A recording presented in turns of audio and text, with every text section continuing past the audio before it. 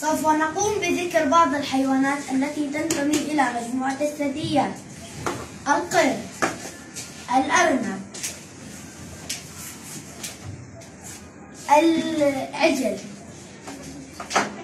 الفهد الجمل الفيل وحيد القرن الأسد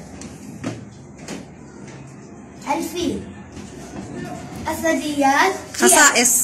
هي خصائص الثدي- الثدييات ترضع صغارها تتكاثر بالولادة يغطي جسمها الشعر أو الصوف أو الوبر وصغير الثدييات يشبه. صغير الثدييات يشبه أبو أبويه